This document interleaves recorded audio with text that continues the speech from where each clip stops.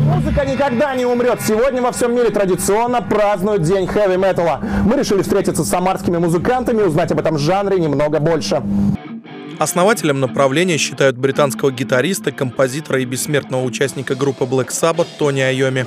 Вместе со своими коллегами по музыкальному цеху он оказал определяющее влияние на развитие тяжелого рока и металла как стиля. Необычный праздник традиционно отмечает в начале декабря миллионы поклонников по всему миру. Самарские музыканты не исключение. В этот день участники группы Some Kind of Monster собрались на репетиционной базе, чтобы подготовиться к предстоящему большому концерту.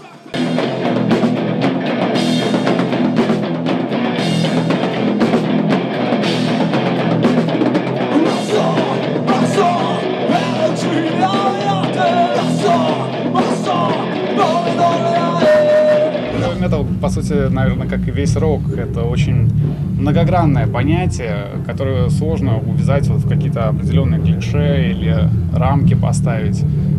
По сути, это рок ритмичный, рифовый, но не слишком, скажем так, тяжелый, не слишком перегруженный.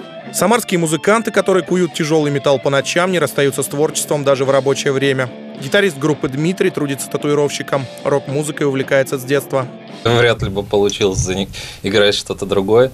И, в общем, было много вариантов, много предложений на тему каких-то разных стилей. Но поскольку именно эта музыка мне нравится, мне хочется ее играть, то, в общем, так сложилось.